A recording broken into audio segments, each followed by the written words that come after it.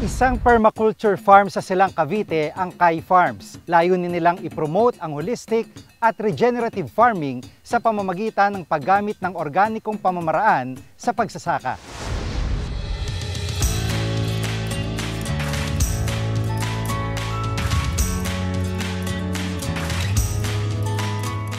...1997 nang mabili ang lupa kung saan matatagpuan ang Kai Farms. At sa paglipas ng mga taon ay patuloy na nadadagdagan ang mga nakatanim dito. Salamat na rin sa paggamit nila ng permaculture.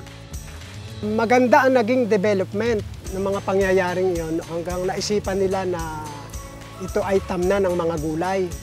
Para nga naman may pakinabang sa lupa, tinamna namin ang mga gulay. Hindi pa permaculture noon, nung panahon yon. Wala pang permaculture, hindi ko pa alam ang salitang permaculture. Ang ginawa namin, kung ano-ano rin mga gulay, may mga kale, may mga ah, cucumber, at ang mga harvest nito, dinadala namin sa Maynila, doon sa may-ari mismo.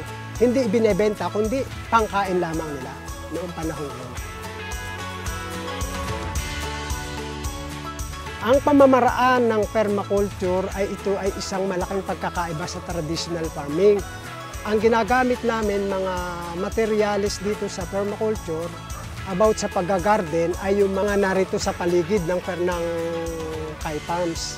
Katulad ng mga dahon na mga tuyong dahon, mga nalalaglag sa puno, yun po yung aming iniipon, ginagawa naming compost at nagiging silbing pataba sa mga gulay.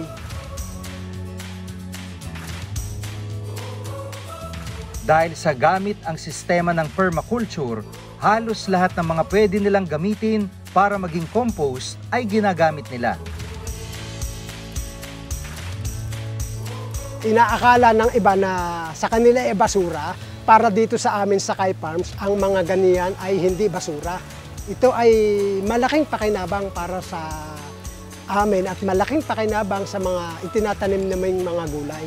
Kung sa iba ito'y basura, sa amin hindi. Napakalaking pakinabang ito. Ito ay amin ang hinahakot, dinadala namin sa compost at iniimbak doon. Once na kami ay magsimula na magtanim sa garden, doon namin siya dinadala. At lahat ng aming tinatanim, yung bawat puno na aming paglalagyan ng mga tanim, nilalagyan namin ng compost na nabubulok. Kaya pagdating ng mga isang linggo, dalawang linggo hanggang isang buwan, makikita mo ang mga halaman mo, mga gulay mo, ang gaganda. Ito ay organic fertilizer. Dito rin sa Kai Farms ay marami rin kayong pwedeng makita bukod sa mga tanim nilang gulay. Pag bumisita kayo, meron po kami, meron kami dito farm tour, meron kaming seed pot making, imbis na plastic, imbis na gumamit kami ng mga styro, ang ginagamit namin ay banana leaves at ginagawa naming seed pot. Kaya pagka nagtanim kami doon, lumalago yung aming itinanim, dire transfer namin sa garden, kasama na yung banana leaves, silbing compost na rin po yun. At kung type nyo namang bumili ng mga gulay sa kanila, tumatanggap ang Kai Farms sa mga orders sa pamamagitan ng kanilang harvest basket. Ang laman po ng basket na ito, ito po ay maipapangako namin sa inyo na certified na organic.